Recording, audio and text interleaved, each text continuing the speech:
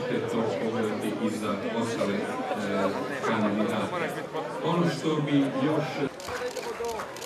je Evo samo...